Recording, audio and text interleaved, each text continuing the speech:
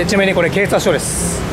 ここの階段の4階に、まあ、そのパワースポットがあるみたいです。さあ4階です。ああもうすごい。日がものすごくて目が開けられないです。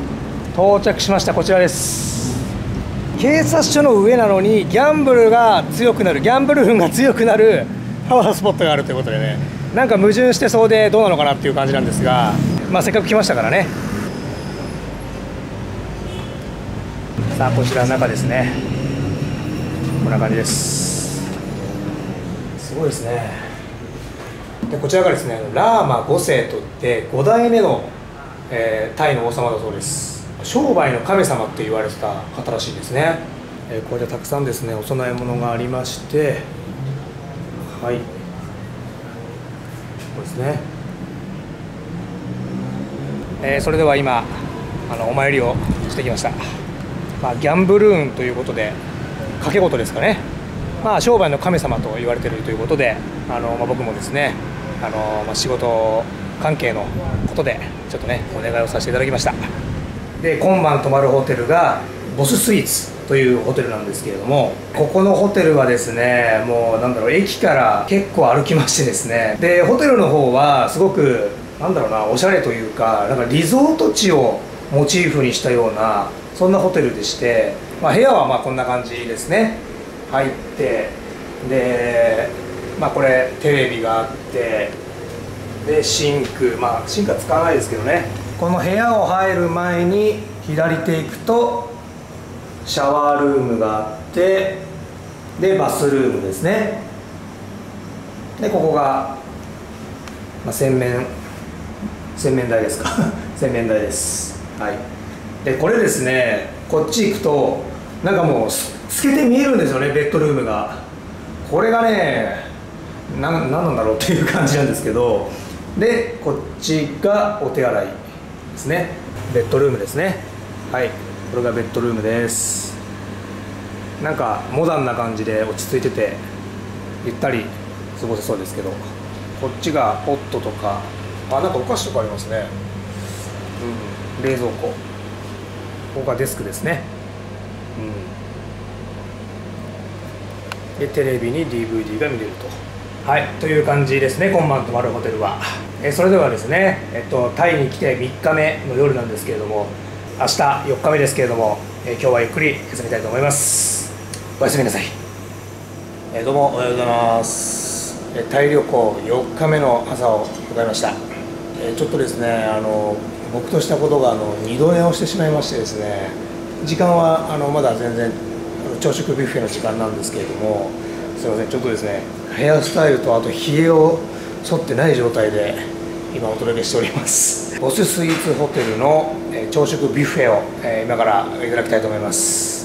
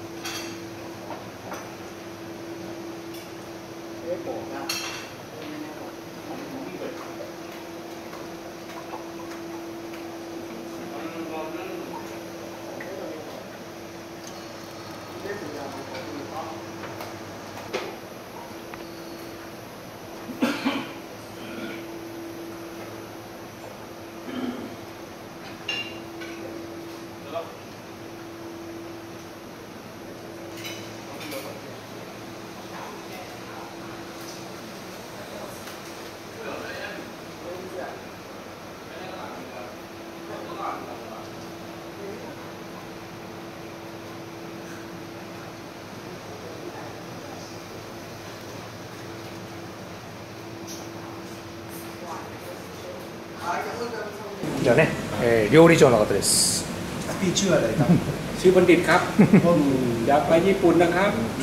通訳 すると私は日本に行きたいんですと。日本が好きだというふうに言っっております。それでタイの朝食はこういったシリアルが必ずあるんですけれどもお皿が結構ユニークでしてこういう形してます。シリアル用のお皿ですね。タイのスイカジュース、えーแตงโมปั่น、まあスイカスムージーでしょうかね。もうタイではもう皆さんもう頻繁に飲まれてる、まあ、スイカのスムージー、まあ、僕も結構飲んでるんですけどなんとですね作っていただけるそうです。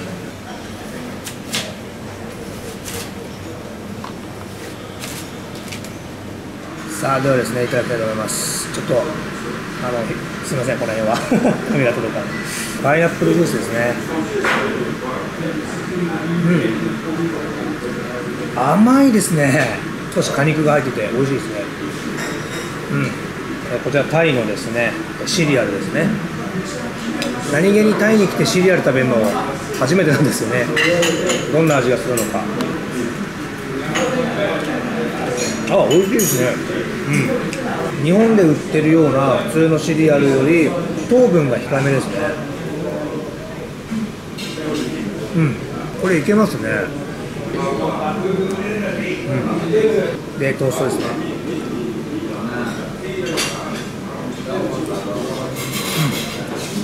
ホテルのサービスでこちら。天毛パン。スイカのスムージーをいただきました。これがタイの麺です。これもちもちしてて美味しいんですよね。うん。本当餅みたい。美味しい。でこれは炒めご飯。まあチャーハンですね。うん。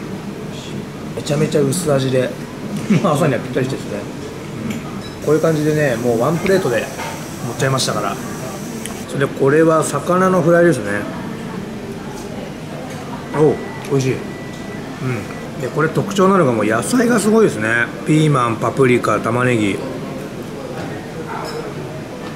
おお美味しい。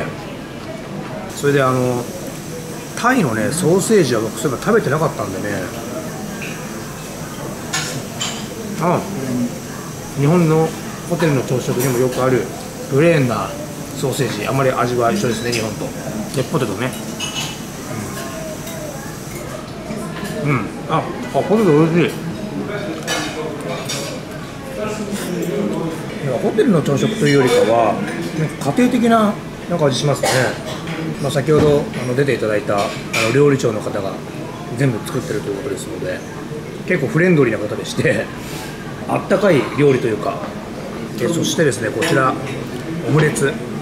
これはあのビュッフェになかったんですけど先ほどの料理長のご厚意で特別に作っていただきました。まあオムレツはあの初日に泊まったホテルでも作っていただいたんですけどね目の前で。おこれ面白いことにホテルによってね全然味違うんですよね。まあ卵のふんわり感はすごくあってでなんか味付けが胡椒っぽい味もするんですけどね。なんか変わったオムレツですね。これ全然美味しいんですけど。แตงโมปั่น。スイカのスムージーですね。でこれすごいのが芸術的で層ができてるんですよね。上と下で。うん。あーこれはスイカそのものの味というかこれすごい美味しい。おおさあ今ですねボススイーツ7ホテルの朝食ビュッフェをいただきましたけれども、まあ、種類はね全然そんな多くなくてでもなんかねやっぱ味がこう家庭的な味だったんで身近な感じがしてあの味も美味しかったですしね、うん、とても良かったと思います、えーそれで今日はですねなんとですねあの僕動画の編集が全然できてないので今日はあの夕方までもうホテルにこもってあの動画をあの編集することになっております。で夜からレストラン1軒あの食レポのアポが取れてましてでその後今日はマッサージ動画を撮りたいなと思っておりますんで、まあ、夕方までちょっと、えー動画編集頑張りたいと思います。さあではですね、えー先ほどホテルの部屋で動画編集してたんですがちょっとね2時でチェックアウトしなきゃいけないということで出てきてですね。で夕方までちょっとまだ時間があるんでこちらのホテルのオーナーさんがここのですねボススイート、えーバーですね。あのバーがあってここであの作業したらどうかということで今ちょっとこれからまた動画編集するんですけどアイスコーヒーまでいただきましてですねなんかねもうタイの人はですねすごく優しいですね。なんか日本のサービスももちろんいいんですけどタイはねまたなんか違ったサービスがあってなんかこうすごく親身になってくれるというか、うんまあ、日本もそうそういうとこあるんですけどなんか日本よ日本以上になんかこうすごく細かく親身にこうサービスしてくれるっていうのがなんかすごくね単位のいいところだなっていうねまあ距離4日目ですけどすごくね感じますね。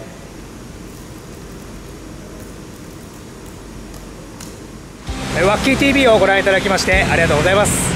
この YouTube 以外にも Twitter、Facebook、Instagram もやっていますのでそちらもぜひよろしくお願いします。あとこのワッキー TV の動画を見て自分も行ってみたいやってみたいと思っていただければ高評価ボタンそれとコメント等もいただければ嬉しいです。最後にまだチャンネル登録がお済みでない方はぜひチャンネル登録よろしくお願いします。